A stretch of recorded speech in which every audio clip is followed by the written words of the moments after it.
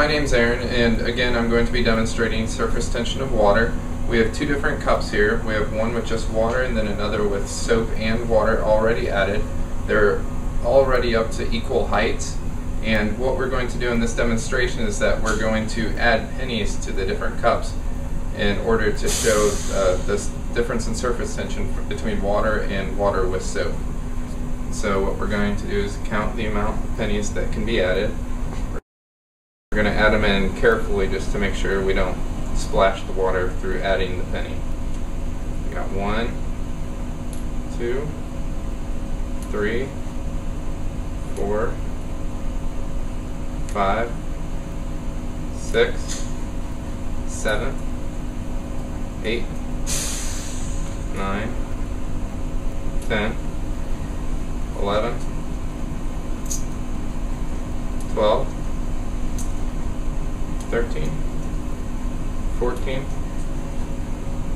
15, 16, 17, 18, and it's already starting to spill a little bit.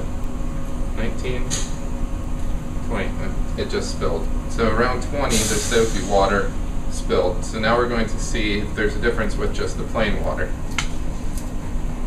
So again, we're going to add them very carefully. One, two, three, four, five, six, seven, eight, nine, ten, eleven, twelve, thirteen, fourteen, fifteen. 16,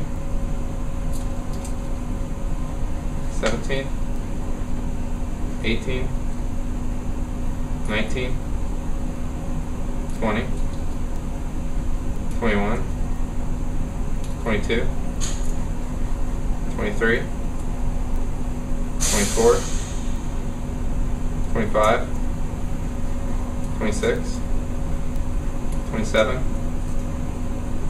28, 29, 30, 31, and around 31 the meniscus broke.